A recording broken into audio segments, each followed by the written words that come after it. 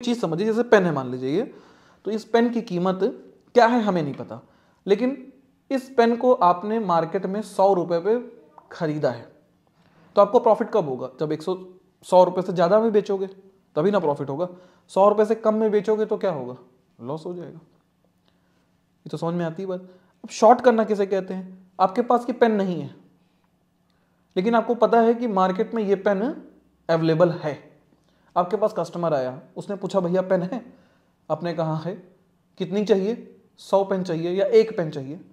आपने कहा, कितना दोगे? उसने पूछा, कितने में? आपने कहा, सौ रुपये में। सौ रुपये की एक पेन है।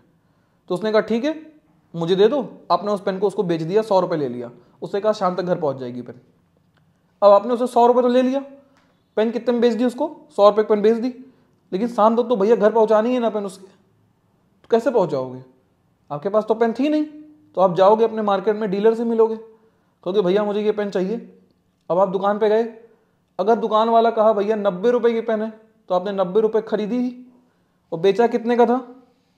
सौ रुपए का। तो जब सौ रुपए का उसको बेचा था तो आपको सौ रुपए मिले थे ना, जेब में आए थे ना सौ रुपए? और जब आपने मार्केट में गए, दुकान पे पेन खरीदने तो वहाँ आपको देने कितने पड़े? सौ रुपए में से निकाल के गिन के नब्बे रुपए देने पड़े। तो जेब में वापस कितने चले गए? दस रुपए गए ना, वो आपको प्रॉफिट हो गया। इसे कहते हैं शॉर्ट करना। लेकिन, मान लो, आपने सुबह सुबह नौ बजे कितने में बेची? सौ रुपये में बेच दी पेन। शाम तक पेन की साल्टेज हो गई मार्केट में। आप गए दोपहर में दुकान पे। कहे, भैया, वो वाली पेन कहाँ है? कह रहे भैया, वो तो आ नहीं रही है। क्या बात करो यार? एक भी पीस नहीं है। कहीं नहीं, एक पीस रखी तो है, इसका दाम बढ़ गया है, कितना हो गया है?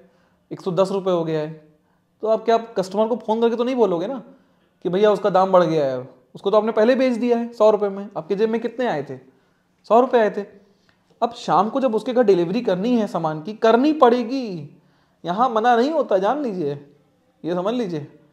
पीछे नहीं हट सकते, सौदा हो गया तो हो गया फिर। अब आप दुकान पे जाओगे, आप क्या कहोगे कि ठीक है, लाओ दो, एक सौ दस में दो। क्योंकि क्रेडिट नहीं खराब करनी है आपको, है ना? आपने क्या किया?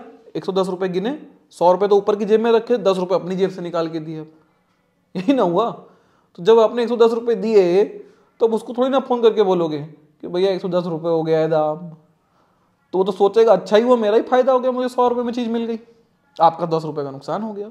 इसे कहते हैं नुकसान यहाँ शॉर्ट करने पे। आपको लग रहा है कि आज ये सत्ताईस सौ इकतालीस से गिर के सत्ताईस सौ आ जाएगा, या रात में आपने कोई न्यूज़ पढ़ी? ये सब काम न्यूज़ के बेसिस पे चलता है जनरली कि रिलायंस को एक नुकसान हो गया है, या रिलायंस की एक डील हाथ से चली गई है, आपको लग रहा है कल मार्केट खुलेगा रिलायंस गिरेगा।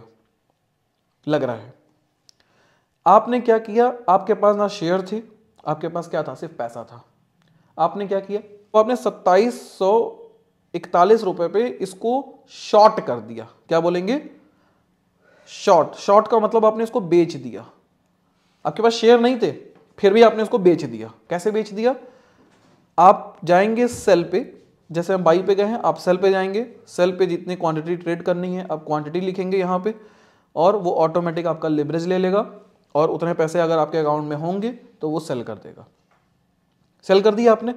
अब अगर ये शेयर सत्ताईस सौ इकतालीस से गिर के सत्ताईस सौ पे आ गया उसी दिन तो आपके बन गए कितने? चालीस रुपए। क्यों? क्योंकि आपने नौ पंद्रह पे इसको सत्ताईस सौ इकतालीस पे बेचा और इसको आपने खरीद लिया कितने पे? नौ तीस पे मान लेते हैं या आपने इसको तीन बजे खरीद लिया वापस से। तो अगर